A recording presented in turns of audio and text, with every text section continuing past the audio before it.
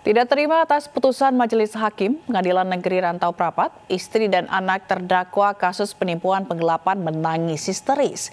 Pihak keluarga merasa putusan hakim tidak adil karena mereka yakin terdakwa tidak melakukan kesalahan seperti yang dituduhkan. Menjatuhkan pidana terhadap terdakwa oleh karena itu dengan pidana penjara selama satu tahun dan enam bulan. Saksi palsu semua. Masih ada saksinya, Merasa tidak adil terhadap putusan yang dibacakan Majelis Hakim Hilda Oktora, istri terdakwa, dan kedua anaknya menangis histeris di Pengadilan Negeri Rantau Prapat. Pihak keluarga merasa hukuman penjara satu setengah tahun yang dijatuhkan hakim tidak adil karena bukti-bukti yang ada menunjukkan bahwa terdakwa tidak melakukan penipuan dan penggelapan seperti yang telah dituduhkan.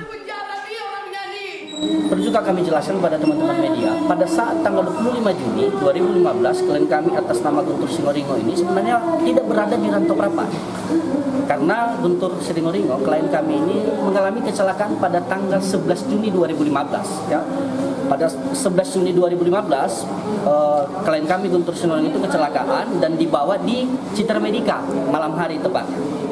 Ya. Juru bicara Pengadilan Negeri Rantau Prapat menyatakan pihak terdakwa berhak mengajukan banding apabila tidak menerima putusan hakim. kesempatan bagi terdakwa untuk mengajukan upaya hukum ya apabila ada hal yang dia nyatakan dia rasakan tidak terima dengan putusan majelis hakim. Ada hak hukumnya, misalkan dia mengajukan banding. Keluarga diwakili kuasa hukum menyatakan akan segera menempuh banding karena tidak merasa puas dengan putusan hakim itu. Dari Labuan Batu, Sumatera Utara, Ika Amanda, iNews melaporkan.